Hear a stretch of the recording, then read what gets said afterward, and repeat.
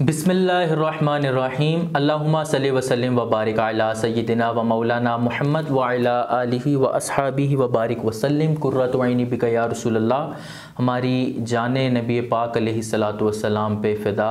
अल्लाह ताला हमें अपने हबीब अलैहिस्सलातु वस्सलाम का सच्चा आशिक बनाए, उनकी राहों पर, उनकी सुन्नत पर चलने का।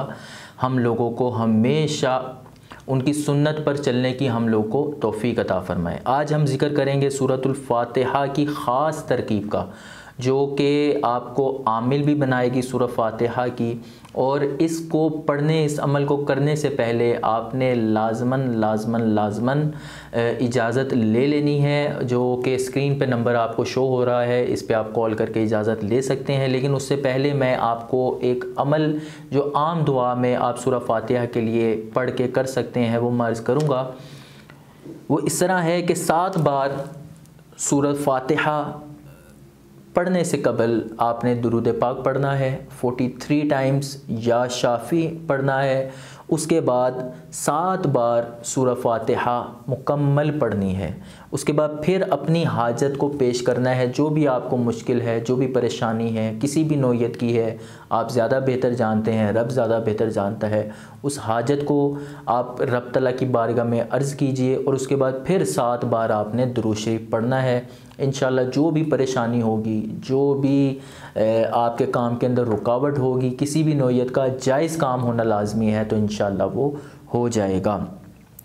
सूरह फातिहा हदीस पाक के मुताबिक हर मर्ज़ के लिए शिफा है। तो हमें नबी पाक सलाम के हर हर फरमान के ऊपर आँखें बंद करके अमल करना चाहिए, उस पर यकीन रखना चाहिए। तो सूरह फातिहा को अगर आप वैसे भी पढ़ लेंगे तो इन आपकी बीमारी में अफाका होगा, आपको शिफा मिलेगी।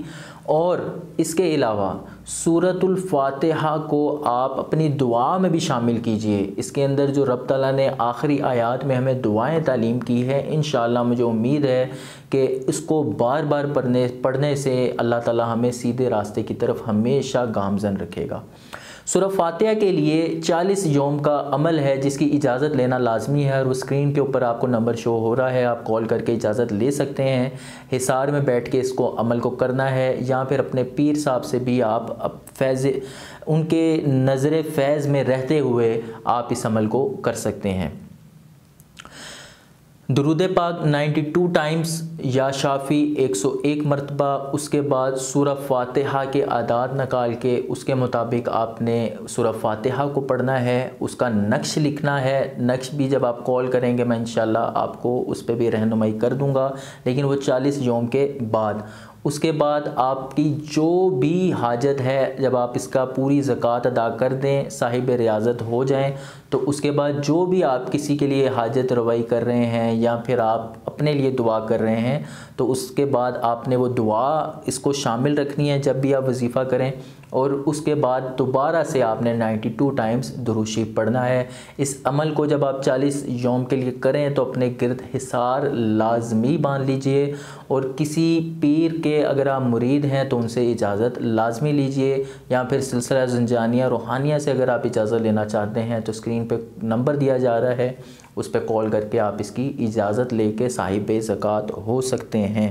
अल्लाह ताला से दुआ है कि अल्लाह ताला हमें अपने हबीब सलाम की सच्ची तालीम की तरफ़ ही हमेशा रखे। अल्हम्दुलिल्लाह, आज हमने कमो पेश 25 अमल और वज़ाइफ जो हैं वो सीख लिए हैं, जो कि सिर्फ़ ताव से लेके वलदौलीन तक हैं। और इन अब हम बढ़ेंगे सूरतुल्बकरा की तरफ़। अल्लाह ताला से दुआ है कि रब ताला ने जो मुझे अपने, अपनी ख़ास रहमत की वजह से जो इल्म अता किया है, जो अपने हबीब सलाम की सदक़े से जो इल्म अता किया है, जो मेरे बुज़ुर्गान दीन की नज़र है, उसको हमेशा सही तरफ़ इस्तेमाल करने की तोफ़ी अता फ़रमाए और मुझे भी और आपको भी इल्म के ज़ख़ायर अता फ़रमाए, जो हमारे लिए आफ़ियत लेके आए, जो हमारे लिए हदायत लेके आए और हमें कभी भी गुमराहों में शुमार होने ना दे। असलकम वरहमल्ला